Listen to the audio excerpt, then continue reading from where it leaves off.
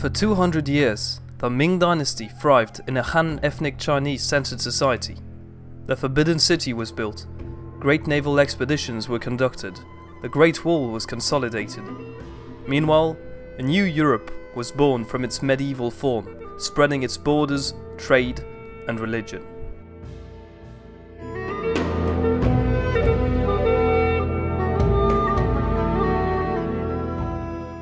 In 1511, the Portuguese Empire, locally under the command of the famous navigator Afonso de Albuquerque, colonized Malacca, a tributary state to the Ming court, finalizing the Portuguese monopole on the spice trade.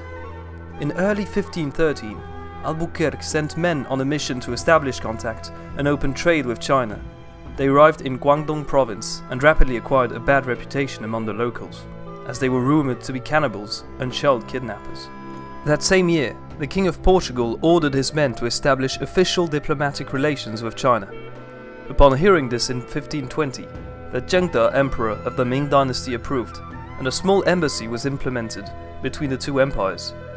The Ming Emperor however died the year after, leaving no heir. Yang Tinghe, Grand Secretary of the Ming dynasty, therefore became the de facto leader for 37 days, until a successor was found. Yang Tinghe held an isolationist policy and refused trade with Portugal and expelled their embassy. Many Portuguese sailors and officials were imprisoned, many others executed and tortured. Nonetheless, both Chinese and Portuguese sailors were eager to trade with each other. In 1540, several missionaries founded the Society of Jesus, focused on the evangelization of the peoples of conquered territory. Saint Francis Xavier, one of the founders, opened a Jesuit college in Portuguese India in 1542. Four years later, two Chinese boys would enroll in the college. After a trip to Japan in 1549, where Francis Xavier introduced Christianity for the very first time, he came back to India. Accompanied by one of the two Chinese boys baptized Antonio, the Jesuit decided to start evangelizing in China, being the first to do so. He was however unable to start his work, dying on Shangchuan Island, a Portuguese trade base on the coast of Guangdong province in 1552. In the 1550s, the Portuguese trade ships successfully chased away piracy from the area. In gratitude, local authorities offered the sailors to stay in Macau. In 1557, the Portuguese established a permanent settlement in the town, which would actually stay Portuguese until 1999. Jesuits started investing in Macau. Alessandro Valignano, the local Jesuit administrator, arrived in 1578. He called for other missionaries in India to join Macau. Michele Ruggieri arrived the year after, followed in 1582 by Matteo Ricci. The Jesuits started to learn the Chinese language and wrote a basic dictionary. Ricci and Ruggieri, both Italian, cooperated and traveled together to the biggest cities of Guangdong province in an attempt to establish another mission, this time on the continent. They were invited to stay in Zhaoqing between 1583 and 1589, where they drew maps and compiled the first ever complete dictionary between Chinese and the European language, in this case Portuguese. Ruggieri studied Taoism and Buddhism to address the common folk, while Ricci studied Confucianism to address the educated class. Ruggieri returned to Europe in 1588, asking the Pope to establish diplomatic relations with the Ming Empire. He was however denied and died shortly after. Expelled by the new governor of Zhaoqing in 1589, Ricci, who had stayed behind, relocated elsewhere and began to travel through China.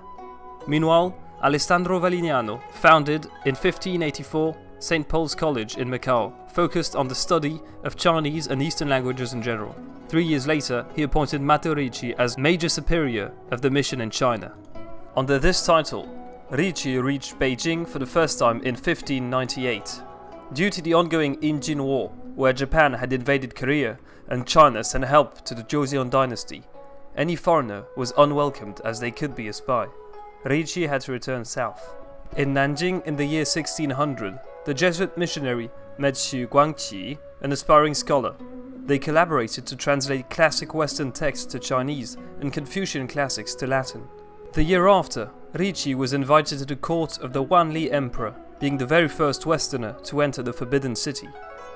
He would build a chapel in Beijing in 1605 that would become the Cathedral of the Immaculate Conception, oldest Catholic church still standing in Beijing.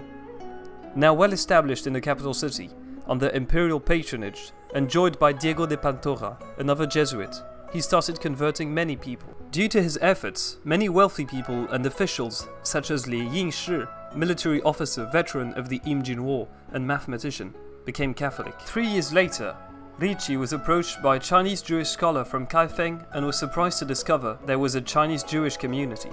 I explained these events and their consequences in my video on Judaism in China, links in the description below. Xu Guangqi, Matteo's convert from Nanjing, had been baptized in 1603 and started encouraging evangelization locally. His family and descendants would be Catholics too. By 1605, Ricci claimed he had converted about 1,000 people. The Jesuit priest, after a life dedicated to religion, died five years later in 1610, after many conversions. He was supposed to be buried in Macau, like all foreigners, as was dictated by the code of the Ming dynasty. His colleague Diego de Pantoja, however, made a plea to the court and obtained from the Wanli emperor that Matteo Ricci would be allowed to rest in Beijing in a Buddhist temple. His grave can still be visited today. From Europe and through Macau, more and more missionaries arrived in China. The Nestorian stele was rediscovered in 1625 by workmen digging in the area. Missionaries took great interest in it as soon as they heard of it. Trouble was however brewing for the Ming dynasty. In 1618, Nurhaci, a man who had unified the scattered Jurchen tribes, launched a rebellion against the Ming dynasty, judging tyrannical the way the Ming administration treated the Jurchen. His army rapidly conquered land, supported by some Ming defectors. A Chinese Catholic convert and protege of Xu Guangqi, Sun Yuanhua, advocated repelling the Qing by using Western mathematics and military science. He was governor of Penglai and trained his troops to use Portuguese cannons. They however mutinied in 1632 and joined the Jurchen rebels. Sun was subsequently court-martialed and executed.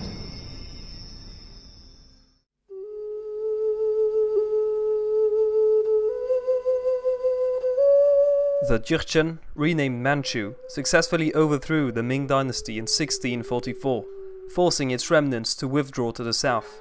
Thus, the Qing dynasty was established. The Ming declined rapidly after that. Its last emperor, Yongli, was converted to Christianity by Michał Boym, a Polish Jesuit. Yongli's mother, Empress Dowager Helena Wang, even wrote a letter to the Pope in Rome asking for help against the Qing dynasty. The Pope answered by promising they would pray for them. In the 1650s, the Emperor sent one of the first Chinese persons to Europe, Andreas Zheng, alongside the Polish missionary. In Rome they worked together on translating the Nestorian stele. Shen Fuzong, a Catholic convert from Nanjing, later went to Europe in the 1680s, visiting Flanders, Italy, France and even England, meeting the monarchs and heads of state each time. He later officially became a Jesuit priest in Portugal. At the same time, the Jesuits in China introduced Western science to the empire. Johann Adam Schall von Bell, a German priest, worked with Xu Guangqi on a reformed and more accurate calendar, he later became a trusted advisor of the Qing Emperor Shunzhi, allowing him to build many churches, which indirectly led to the conversion of over 500,000 people to Christianity. Bell was joined by the Flemish Jesuit Ferdinand Verbiest, also proficient in astronomy, and they worked in the Beijing Ancient Observatory alongside many other astronomers. The death of Emperor Shunzhi in 1661 led to a change in the way the country was governed. Since his son was only seven, a regency was put in place that disapproved of the Jesuits. The Muslim Chinese astronomers used the occasion to challenge the Jesuits, accusing them of plotting against the empire. In 1664, Bell and Verbiest were subsequently imprisoned and prepared for execution. Coincidentally, a series of meteorological events, such as an earthquake and meteor, destroyed part of the prison. A fire also broke out in the imperial palace, where the Jesuits had been condemned. Seeing this as an omen, the authorities released the prisoners, and instead of executing them all, some were simply exiled. Bell died due to the poor conditions he had endured while in prison, but Ferdinand Verbiest was able to restore Western reputation. In 1669, he was put to the test against the main figure that had challenged the priests. They had to predict future astronomical events. Using the most recent mathematical discoveries, Verbiest was able to successfully do so, Thus, the new Kangxi emperor allowed the exiled Jesuits to return, and instead exiled the Muslim astronomer. Verbiest was also appointed head of the observatory and became close friends with the Kangxi emperor, who regularly asked him to teach him music and philosophy. Verbiest is also credited with having invented the first steam-propelled vehicle as an amusement for the emperor around 1672.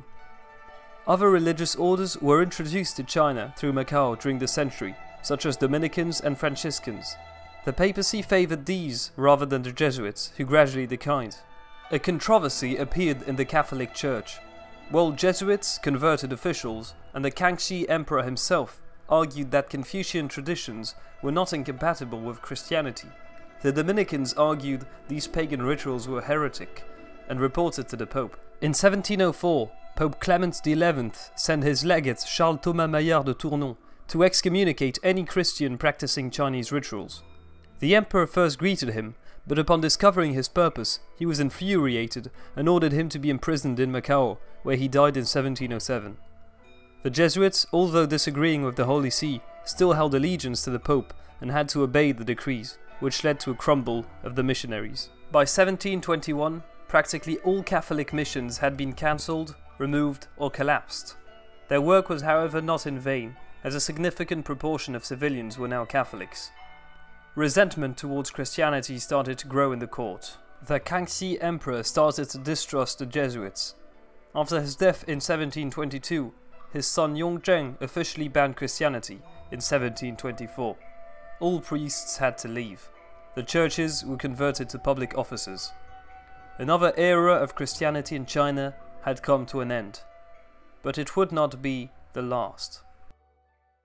Thank you for watching my video, I hope you enjoyed it, if so please like it and subscribe to the channel, and if you have any questions don't hesitate to leave them in the comment section below.